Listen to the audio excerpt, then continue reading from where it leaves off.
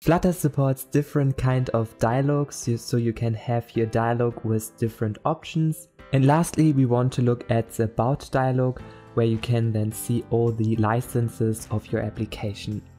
If you are new here, make sure to subscribe to my channel and also leave a comment below what you like to learn next about Flutter. We want to get started here with a simple dialog, so I'm here in a new class and in a new file. And here inside we have basically a button and if we then click on this button, then we want to show our simple dialog.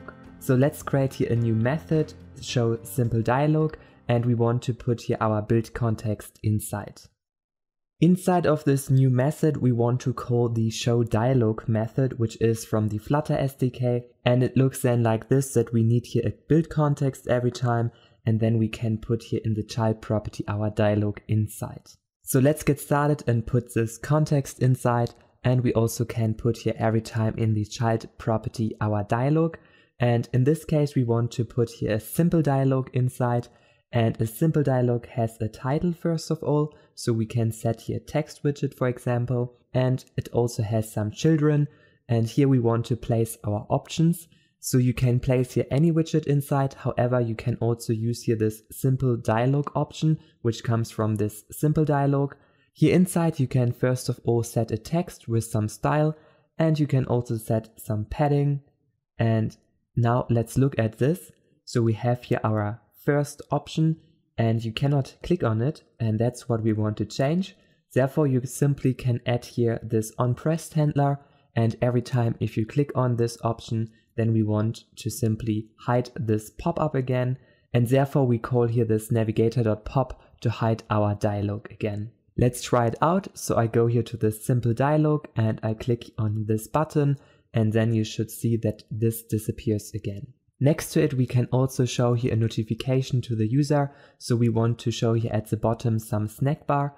And here we simply make use of a utils class, which I have created. And here basically we show a snack bar and put here our title, our text inside, which should be displayed as an information. And this looks then like this. So if we click here on this option, you also see that we get here this snack bar at the bottom. Basically, we can also put here then other options inside. So let's also create a second option. And here what I only changed is the text. And also here in our show snack bar, I also changed here this text, which is displayed to the user. And we also can here add another option. So option three. And here I also changed this text. So you can basically put then any text inside what you like and also the functionality what should be executed if you press on one of these options, then you can define it here inside. And now our dialog looks like this. So we have three options and if we click on one, then our selected option is here displayed. Let's also display an alert dialog and here we can basically put any message to the user which he then confirms. Here again I'm in a new file and in a new class where I have here this alert dialog button and every time if we press on it then we want to show this alert dialog. So let's put here our new method inside and we again put here the build context inside. We call again in this method the show dialog method and put our context inside. And this time we create here an alert dialog. And this alert dialog basically has a title like the dialog before also. And this time we have here a content which is our description. And here you can also put some text inside. This looks then like this, so we have some basic information which we show to the user. And if you like you can also add here another button. So you have here actions and here you can place any button inside or multiple buttons and we create here for example a button close and if you press on it then we also call this navigator.pop to actually close our current dialog. Let's try this also out. I go here and you see also that we have here this button and if we click on this button then it hides this dialog again. Let's also create a custom dialog so you can place here any widgets inside which you like and you can customize it like you want to have your dialog. Therefore I'm here inside of a new class again and if we click on this custom dialog then we want to implement this show custom dialog method. So again, we call show dialog like all the times before. We put our context inside and this time we call here a dialog. So we don't have here an alert dialog or anything else. We have here a plain dialog and then you can put here a child inside and within this child you can place any widget inside which you like. So for example, we put here a column inside to display multiple widgets under each other. And therefore we, for example, start with some spacing, then we put some text inside. Again, we put some spacing and text inside, and then we already have here our custom dialog. And then it looks like this. So it takes here currently the full height. And that's also what we can change later. So first of all, I will also put here another button inside. And this time we put here simply an elevated button inside. And if we click on this button, we want then to close this dialog again.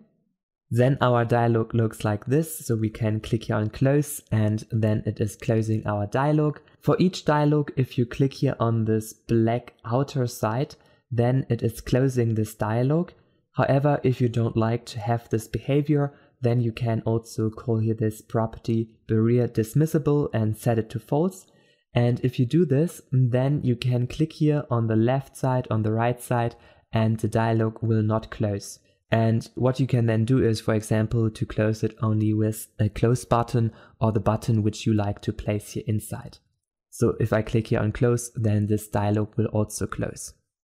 Then within our dialog, we always have here an option which is called shape.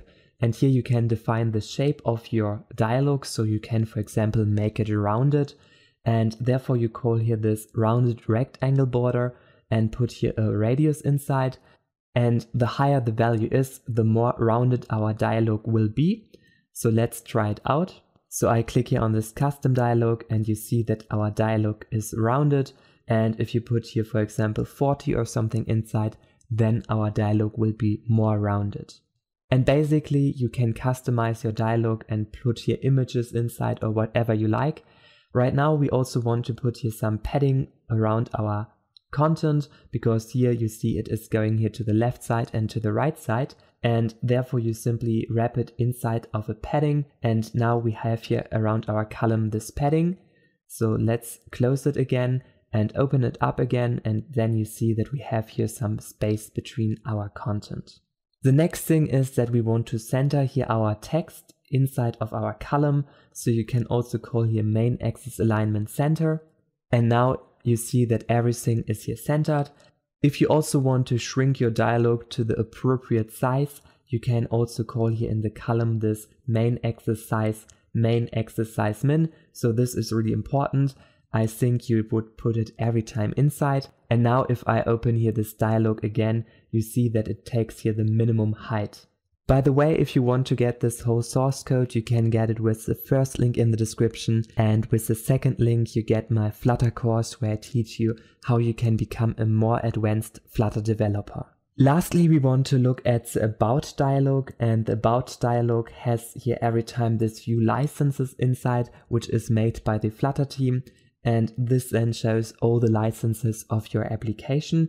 So for example, if you later upload at some point your app to the Play Store or to the App Store, then you can simply display all the licenses to the user.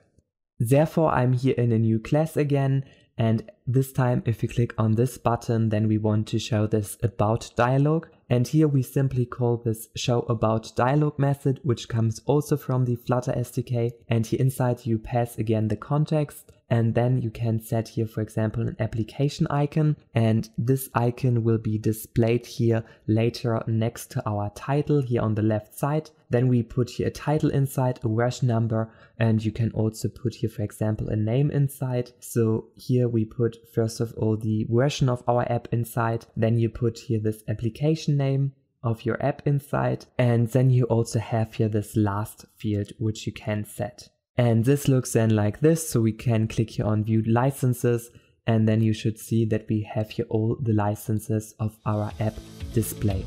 Hello everyone, thank you so much for watching this video. Please make sure to give it a thumbs up and subscribe to my channel here to get the latest news about Flutter and see you soon. Bye!